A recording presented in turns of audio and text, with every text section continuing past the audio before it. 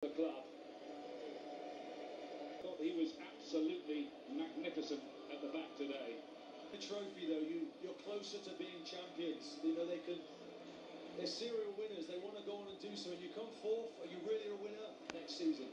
One of the great FA Cup final stories is for me, Per Mertesacker. 37 minutes